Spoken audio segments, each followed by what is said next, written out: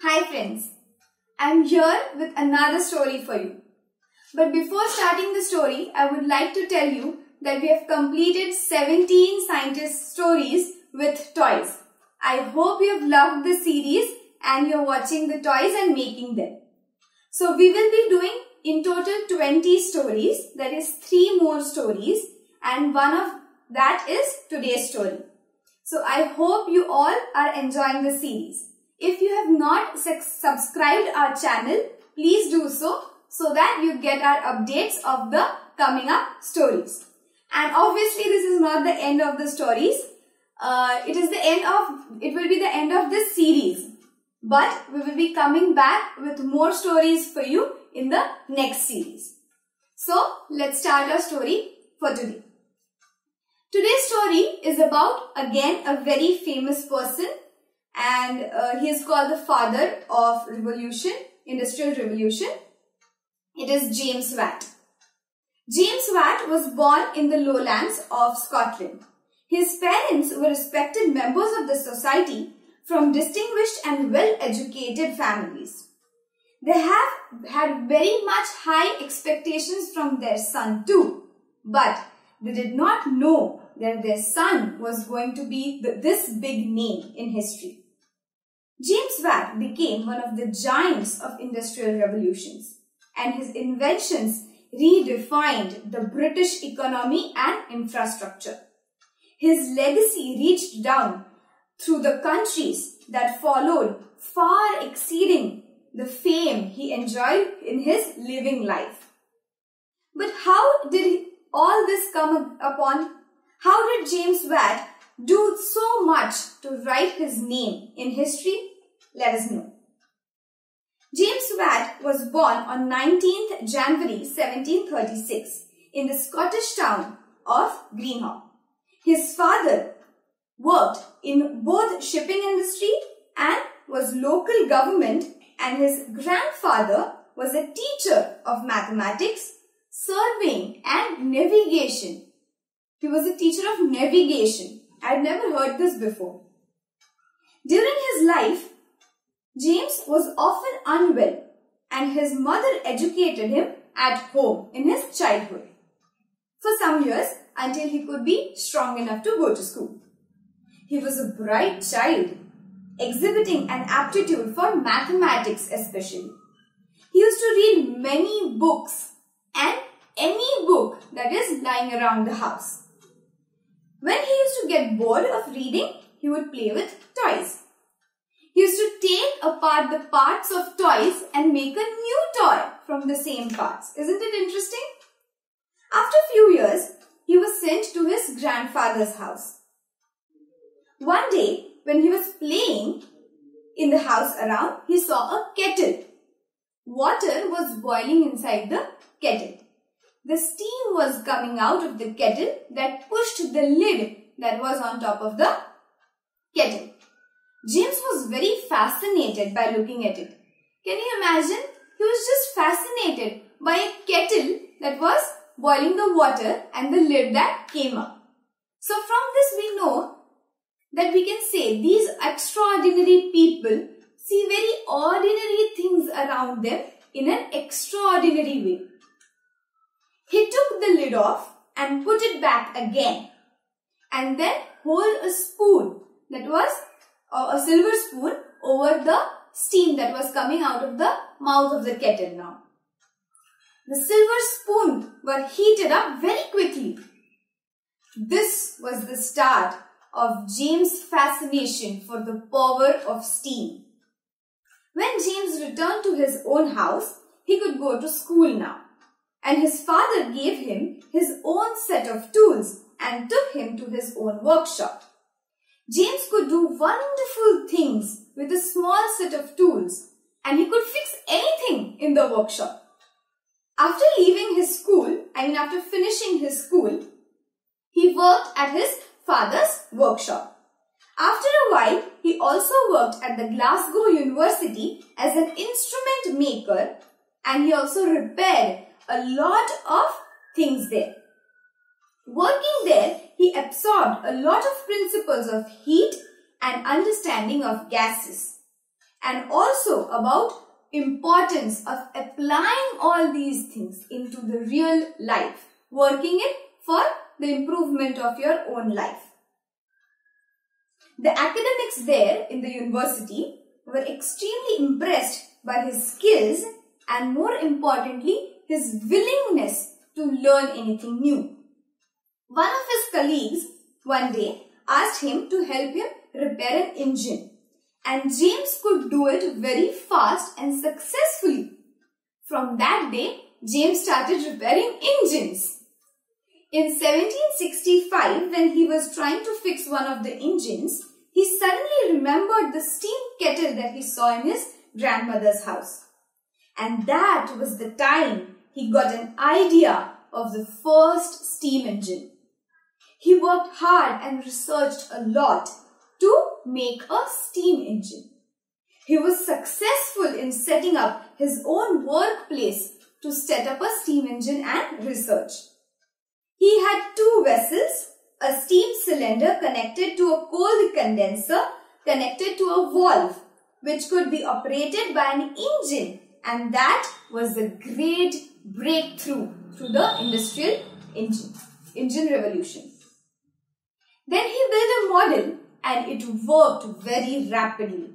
He could see that he will get twice the power and he started a lot better with lot of better efficiency. But his model was not potentially strong. It was very weak model but still he got so much high efficiency.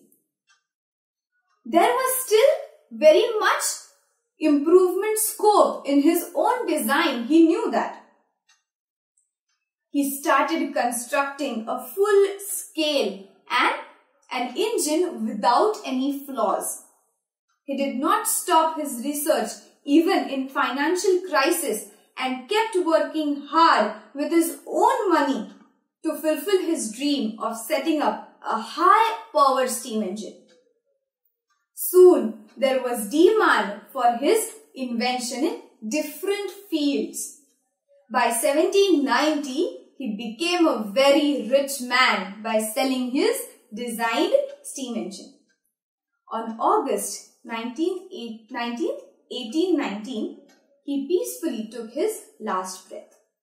His legacy as the father of industrial revolution has become solidified in history and public awareness of his life and work is high even till today. The man may have faced many difficulties, tasks at times, but did not give up. Watt played an enormous role in shaping the world we live in today.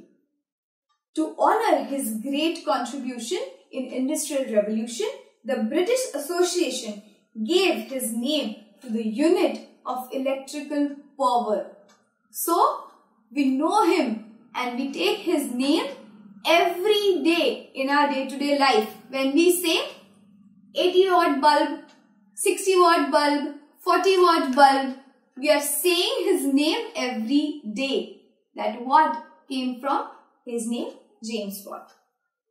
So from the story, I think we should learn to see science in different and very small things around us. Anything around you, anything going around you, every, anything and everything contains science. We need to see in that way. There is a small saying that every photograph has a photographic eye behind that photograph. So, any lake that is shot by a photographer looks better than it's the same lake in our photo.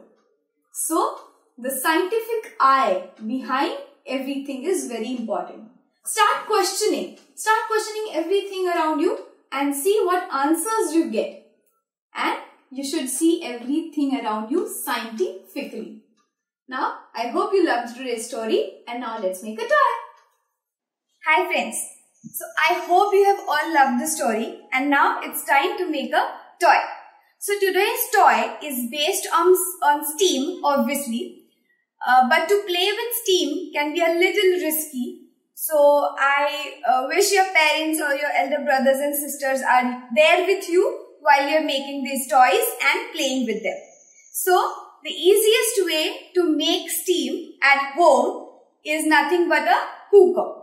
So, I have added some water inside the cooker, removed the chitti that we call it and then just place the lid back on. So now we are going to make fan which can rotate on the power of steam. So first I'll show you how to make the fan and then let's see if that rotates on steam. Let's start. So what all do we need to make a fan? A paper, scissor, glue, a pin and some beads. So let's start. You have to start by making a square out of the paper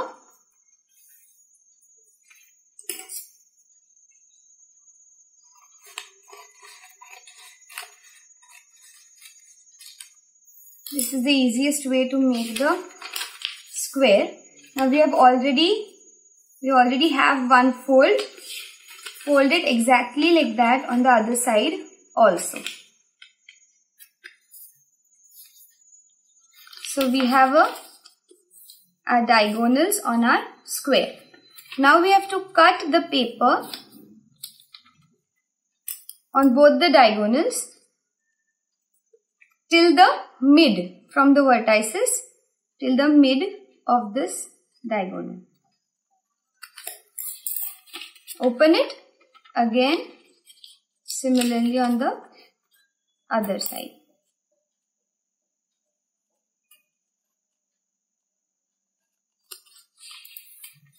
Now we have cuts on all the four sides. And now we are going to glue alternate fins to the center like these. So I'm using some glue. Also use the glue at the end of the fins so that they stick properly. Now we have, we have stuck this. Now don't stick this. You need to stick this side. So again apply some glue Hold it for a second if you don't have fast glue as I do. Then again leave this and stick this one.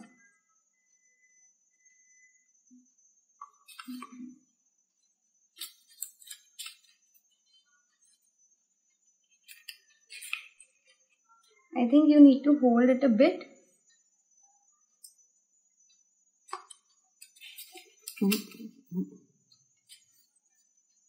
Sorry not this one. Stick this one.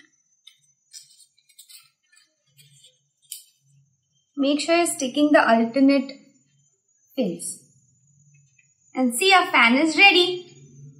You get these fans in melas or somewhere in the mall also which rotate on. Now we have a pin. We will put a bead inside it and then poke it exactly at the center of our fan. Please take help of some elder person if you are not used to use pins. And then again put a bead at the back. So there's a bead in the front and there's a bead at the back. So fan is ready. Take this other plastic fan, we need a bottle. It can be a used bottle a scissor and a stick, a skewer and one bead. So what you need to do is cut your bottle at the neck. Again, take help of your parents or your elder brothers and sisters if you need. We also need the cap of the bottle.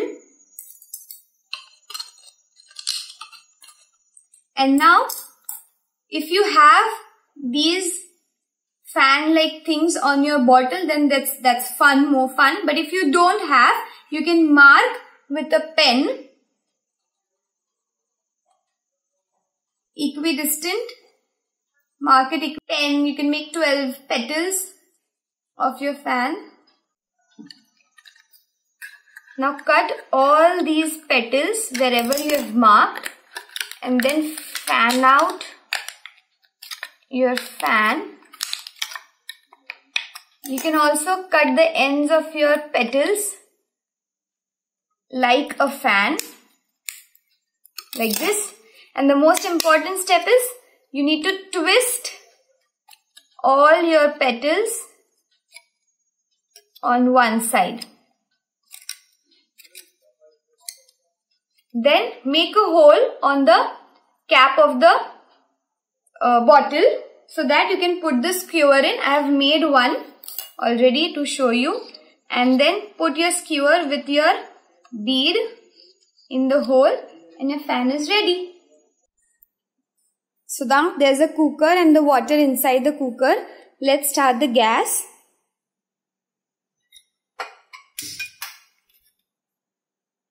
Now feel, so you can hear the sound of the steam coming out. Now hold the fan. Please be careful, please. It is a bit, you can see the steam, see?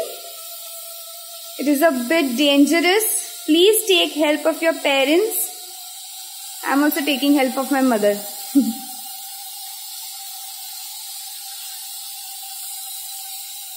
and see if the fan rotates. See? The fan. Your paper fan can get a bit wet because of steam. But you can see the principle. You can see that it's rotating. आई तो ओला झाला I guess. Try with this.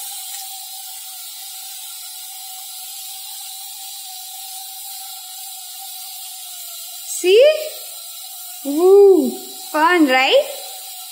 I hope you have loved the toys and you'll sure make it at home. And let's meet up next time for a new story. Bye! कसला मस्त फिरतोय ना